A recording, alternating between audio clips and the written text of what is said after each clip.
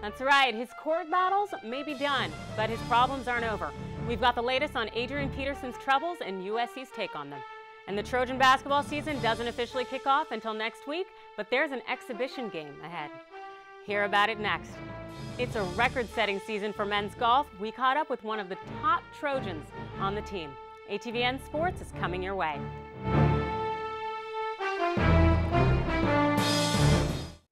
Welcome back to ATVN. It's exhibition time. This Saturday, USC men's basketball hosts CSULA in a preseason exhibition matchup. This is the Trojans' first exhibition game in four years, and they're excited to get on the court. We checked in with the team earlier today. Just been working hard all spring and summer to uh, to get ready for this game. So, uh, opening game uh, in front of you know our fans in in, in LA. So, just very excited to get it started. We just play together. You know, you're gonna see a lot of extra passes and stuff, and um, just real good team offense and defense. This season, the Trojans have a young team. Of the 14-man roster, 11 are freshmen or sophomores, and the remaining three are seniors who averaged 11 points per game last season. Scouts ranked USC's freshman class at number 12. Saturday's matchup will be the season opener for the Golden Eagles, but the Trojans will have to wait until November 15th when they open their season against Portland State. Things are heating up on the green. The men's golf team wrapped up the Gifford Collegiate Championships with great results.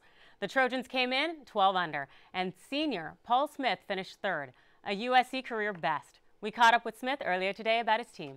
The team this year compared to last year is definitely, I would say, stronger, and we have some guys that aren't playing but have potential to uh, definitely contribute for the next few tournaments. So we'll see how it turns out the, for our next tournament. So we're looking we're looking forward to it. USC's performance at the Gifford Championship is a nice way to end 2014. The team has a long winter break until February when they head to Hawaii for the Amer Ari Invitational. ESPN's commentator Bill Simmons sounded off on Mike and Mike today after the Mikes criticized Simmons' comments on the Cavaliers' not-so-great start. Simmons felt the Mikes took his words out of context and he went to Twitter for his response. Simmons said, What Mike and Mike did today was absolute garbage. I would say I lost respect for that show, but I never had it. Mike and Mike said they've spoken with Simmons since the tweets and they'll discuss it tomorrow on their show. Hopefully they were able to make amends. If you recall, Simmons is coming off of a three-week suspension for on-air comments he made against Roger Goodell back in September. Adrian Peterson may not be returning to the field anytime soon. The NFL was reviewing his case for potential discipline. The Minnesota Vikings running back has missed eight games already, and he's been out since his arrest for child abuse charges in September. He just pleaded to a lesser offense this past Tuesday. We asked USC students if they think the NFL should let Peterson return.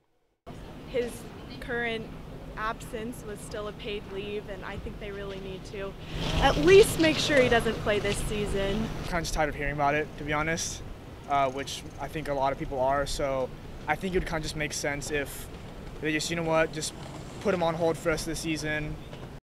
The NFL hasn't said when they'll rule on Peterson's case, but Ray Rice's appeal just concluded today, and the outcome could have an effect on Peterson's punishment. Thursday night football is kicked off in Cincinnati. Tonight's a big division matchup between the Bengals and the Browns. The outcome could knock the Bengals off of the top of the AFC North. But one little person isn't concerned about the outcome. She's just excited to be there. Four-year-old Leah Still left the Children's Hospital in Pennsylvania to come to Ohio to cheer on her dad, Devin Still, a Bengals defensive tackle. Leah made national news that she's fighting a rare cancer. Her story has raised money for uh, pediatric cancer research and treatment. During tonight's game, the Bengals will present a $1 million donation to the cause. The team's also donating proceeds from the sale of Devin's jerseys. Let's check in on the game.